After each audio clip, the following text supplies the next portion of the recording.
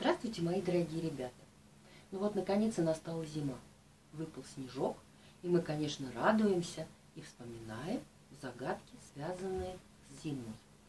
Сегодня я хочу вам предложить три загадки. Они совсем-совсем легкие. Я знаю, что вы быстро их отгадаете. Итак, первая загадка. Белая скатерть все поле накрыла. Что это?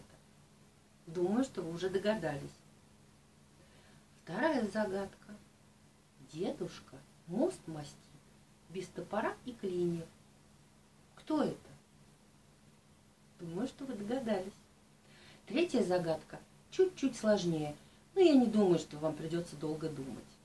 Итак, гуляет в поле, а не конь, летает на воле, а не птица. Это тоже про зиму. Подумайте, я жду ваших ответов.